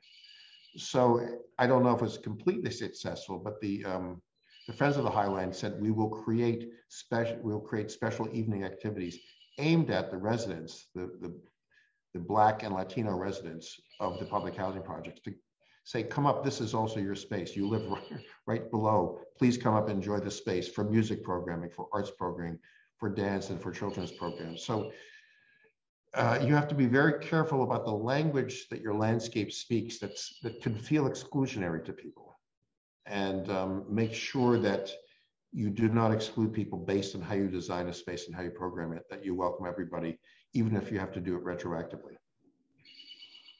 Un sujet tellement riche, cette question de... Yeah, this is a really rich subject, this question of how uh, um, a park could be perceived uh, from a cultural lens and uh, how a, a, park could influence the social dynamic. We could just talk about that topic all day. I see that there are a lot of questions, so I will continue taking them. Uh, I would have been very curious to also hear Nathalie on this one, but she uh, has other questions waiting for her. So um, we have Stephanie Watt asking Nathalie what methods could allow decision makers to better know uh, their parks and how could they then uh, have a more diversified offering? You talked about this topic. Could you uh, uh detail uh, could you outline some topics that uh, decision makers could use to figure out who their people are? Well, first of all hello stephanie. Thank you for the question. I think The priority here is to really understand uh, parks and their dwellers. And so you need to go and speak to the people and to go and observe what's going on there. I think that speaking and observing park users is something really essential. Whereas, uh, let's say, organizing a participative uh, creation workshop with some people somewhere in the room, well, that could be interesting for the citizens that are interested by that type of exercise but the person who's just going to walk their dog in the park maybe is not interested in such a workshop even if they do have an opinion on the park. So i would say that we should go and really uh, talk to the people in the field. When we interview people uh, people are going to talk about their expectation, uh, the expectations, uh, and uh, they might also say some things that uh, do not correspond to the what they actually end up doing. So we really need to have a thorough interview. After that, we can work on concept and facilities, and then we could uh, you know redo the series of interview with the users of the park did anything change now that we changed the nature of this park, now that we reorganized it?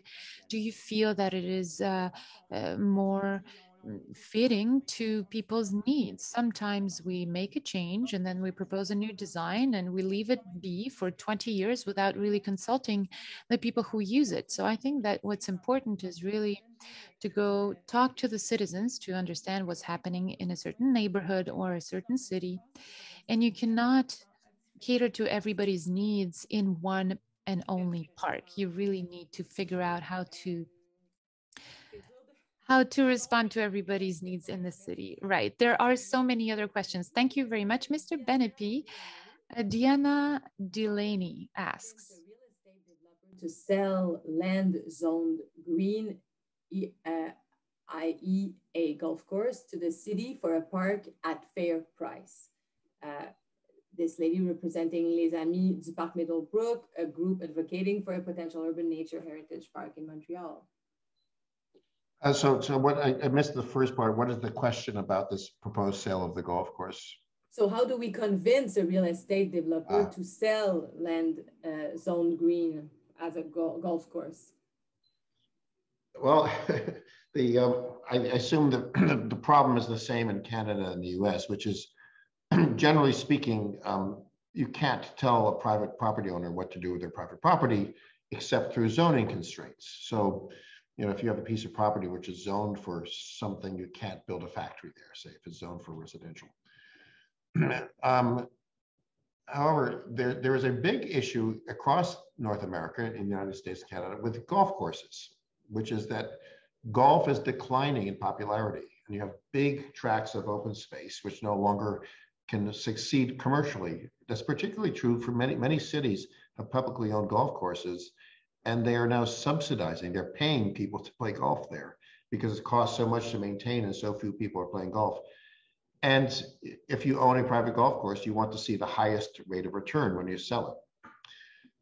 It's hard to convince a private owner to sell something, even at fair market value, let alone to just simply donate it or give it for, for a low amount of money to the city. And this, again, I'd say is where the city and public authorities can step in. I assume it's the same in Canada, but in the United States, there's something called eminent domain, which means that the city, the government, the federal government, state government say, we're going to take your land. We're going to take your land, Mr. Private Property Owner, and we're going to put it to another purpose. That's been done for well over 100 years, for railroads, for shipping, for housing, for all kinds of purposes, this use of eminent domain where the city takes the land and pays you a fair market value. And sometimes there's a court case to decide what is fair market value.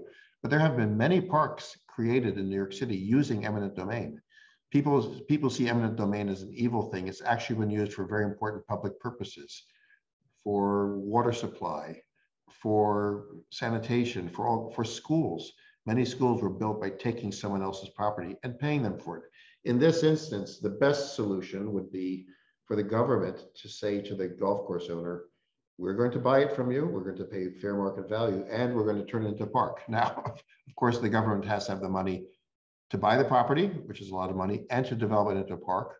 But the first thing to do is to buy it because they won't get a second chance. Buy it, and they don't have to develop it right. Buy it and hold it. Nature, let nature just do its thing for a while as you find the money and gradually develop into a park. Uh, and the one of the justifications for buying this land would be to mitigate the impacts of climate change. Even in Montreal, it's going to get warmer. Montreal is going to get warmer due to climate change.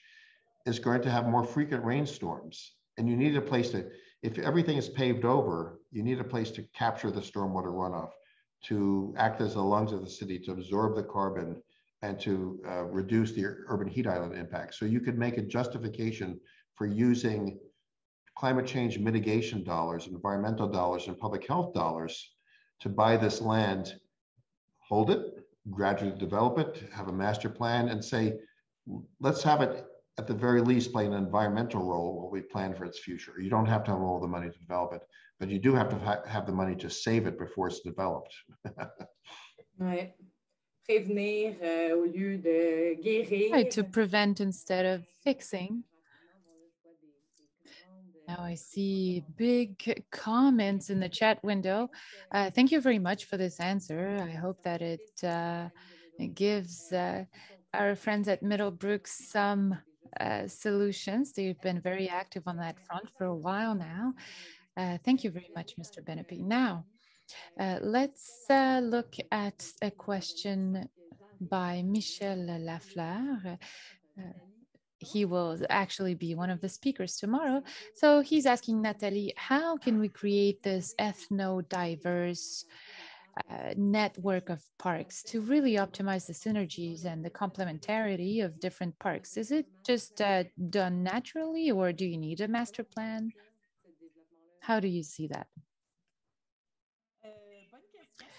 That's a great question. I think that um, I maybe woke up a beast uh, by mentioning this uh, ethno-diverse uh, uh, value. I think that it's important to recognize the informal practices that normalize parks or that uh, are a characteristic of parks. I don't know if it's really helpful to formalize them, to write them down in documents or some master plans. But I think that we should certainly develop the expertise within the cities and within uh, neighborhoods to integrate these notions. And I think that it should be known, it should be learned, that you could uh, say in uh, a certain area that uh, a, a group of users of the park, and here I'm thinking about an example in particular from the recent time. We have a lot of Muslim uh, population in our neighborhood, and it's important to have uh, equipment to for them to be able to celebrate Ramadan, and it should be accepted and it should be embraced. What does it mean for other users of the park? How do we frame this? And uh, there are there is a rotation of practices and appropriation in parks. So that is an example, the Muslim community celebration. This is a very obvious example of culture that you can see materialize in the parks, but there are others as well. I think that as soon as you institutionalize cultural practices, you can already see alternative practices spring up. And uh, we must be careful about segregation in that case. I worked a lot in Australia in the pools, and in the pools, uh, you you have indications that are written in the lanes how long you can uh, how long it should take you to complete a lap. And so could you then uh, tell somebody you're not fast enough you're not strong enough you're old enough? Um, and yeah because it is formal they would in principle be able to do that. So I think that we should have a set of informal practices and accept that we can't necessarily fund these things specifically or put them on paper, but we need to recognize them as a value uh, as we plan and manage parks. That is a great question. That is a big question. This whole concept of uh, ethnodiversity and uh, we hear about this a lot in all kinds of discussions. Now, a questions for you. Ellen uh, from Amis de la Montagne. Responsibilities between the city administration and the community, including the private funders. that led to the rise of the Conservancy and Friends of model that seems to work so well for parks in the States.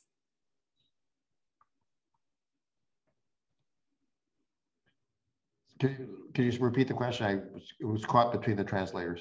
Oh, yes. Yeah. Okay. Yeah. And, and sorry for the interpretation. And yeah. no, no, it was, it was just, it started okay. out and then I, so I missed the first part. So just please repeat. Okay. So what was the driving force behind the new balance of responsibilities between the city administration and the community, including the private funders, that led to the rise of the Conservancy and Friends of model that seems to work so well for parks in the States?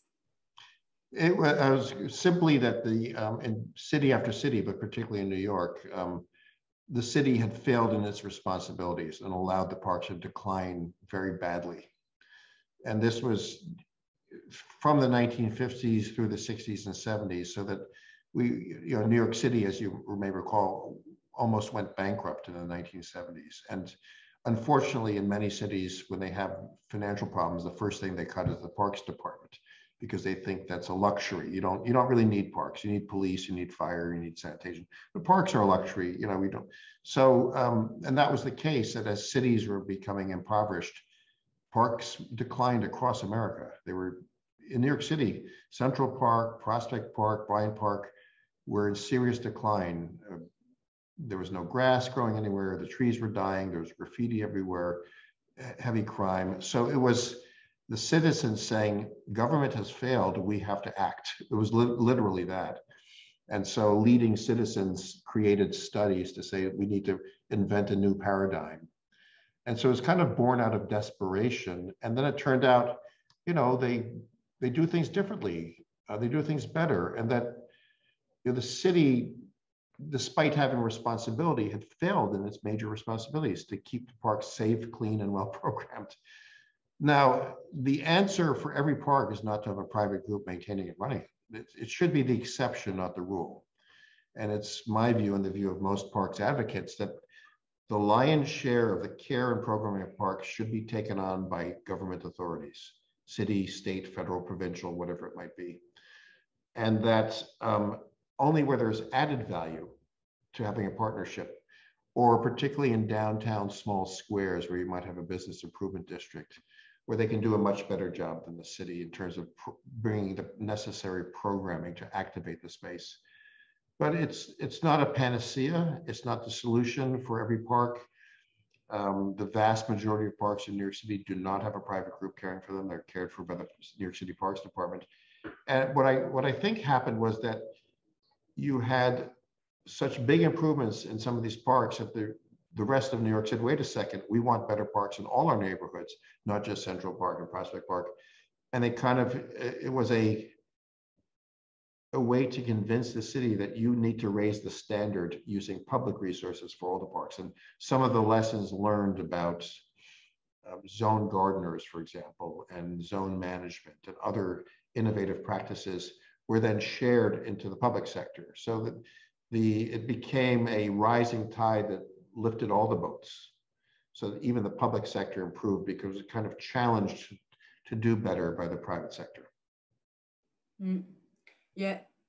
La, la, je trouve, on, on voit quand même ici. I think that uh, what we see here is this reality uh, that is very American. Is it really different from the Montreal reality? I think that uh, uh in the question, we look at people who are very involved in uh, in groups that uh, talk about parks and uh, they have maybe stronger financial structures and uh, are more organized. There is another person who asked a similar question when we look at New York and we see how well uh, some projects are financed from a private uh, from private sources. Uh, maybe that's not the ideal every time, but still you could see a dynamic that we in Montreal were looking at and we're wondering you know what's going on here in our parks and uh, our pri is private financing present enough I don't know if Nathalie Boucher, you are aware of uh, the funding aspects, but uh, what do you think the investment culture in Montreal of the public investment in public infrastructures, is it strong?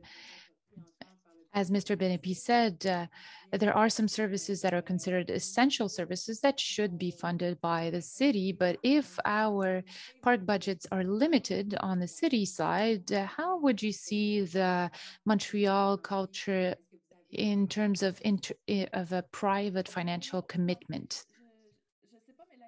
Well, I'm not sure about the finances, but uh, I think that the Montreal park culture is still mm, waiting to be defined. I think that uh, the American way of life in parks uh, is different from our, I don't know, French culture, I guess. Um, they have more of maybe of a hands-on approach and um, to just jump in and do uh, and do things in the park. And this is all due respect with the public uh, participation in the American culture. I think that the French culture has another dynamic that is more based on uh, negotiation, consensus. This is what should be done. This is what I'm doing. And there's this uh, triangle when we're talking about, uh, you know, uh, trying to save public spaces and uh, um, plead with the city that we should save a certain green space, maybe we are a little shocked in a good way by what the Americans are doing. Maybe we should find our own way of doing things. And it's not because we don't use public private partnerships that we don't have any leverage or any good opportunities for public life in the parks. We just have a different way of doing things, and we should respect that. This is our culture, this is our life, and this is our fran- francophone. Uh, uh, you know personality well actually i thought i think that this uh, would conclude this session perfectly we could obviously continue for a long time but i think that it really reflects the exchanges that we had with uh, mr benepe and madame boucher this whole question about uh, you know the role of the parks as windows and mirrors of our culture. And they should represent their users. There's this balance to be found between trying to plan them and zone them and uh, manage them and uh, leaving them be as mirrors of the culture. I, so I would like to really thank you for your time, for your participation. And we have this list of questions that is uh, continuing to grow, but I'm really happy that we took the time to answer the ones that we did. And uh, thanks again to everybody, our keynote speakers. And this was recorded, so we are going to share this. I will share my screen for a last time to finish this presentation. I just wanted to tell you that the question that you've asked, they will uh, certainly go uh, be considered by our uh, our network. We're going to think about them. We're going to use them to plan our next activities. And now uh, tomorrow we are going to have our second activity. So those who will continue uh, with us uh, will uh, enjoy a discussion panel on equity and environmental justice in Montreal in the company of Jerome Dupras, Lourdes Nijean, Anne Pelletier, and Michel Lafleur. And the discussion panel will be moderated by Carol Mayrand. That is tomorrow noon. Please uh, register, and we are going to share the links to register in the chat. Otherwise, tomorrow at 5 p.m., uh, we will have our last activity, the online after work. So it will be your turn to uh, show up with a little glass of uh, something and uh, to continue discussing all kinds of issues that we've discussed today during our discussions. How do we engage? How do we um, stay accountable? In activating the power of the parks at all levels of involvement. And so tomorrow we are going to continue discussing this, uh, the solution, the solutions to this uh, issue of uh, engagement. Again, uh, we shared the link in the chat. And finally, please follow us online. You can uh, uh, follow the activities of the network in the next few years. There are a lot of activities that are coming up, and uh, we invite you to follow us on social media. And you can also follow our four partners, the members of the network. You have the Amis des Parcs, Amis de la Montagne, uh, the Centre d'écologie urbaine de Montréal, and the CRE of Montreal. So again, thank you so much to everybody. Thanks to the speakers, to those who asked questions. This was amazing. We were uh, over 120 people listening in today. And for those who survived, uh, we are still um, all together. It was great seeing you, and uh, we can't wait to see you again. Have a great spring.